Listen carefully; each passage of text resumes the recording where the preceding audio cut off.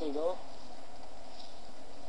The place is uh, Münster Basilica, the typical example of the independent uh, Rhenish style in the transitional period between Romance and the Gothic period. It's built in approximately in 1248. Wow, 1248. Yeah,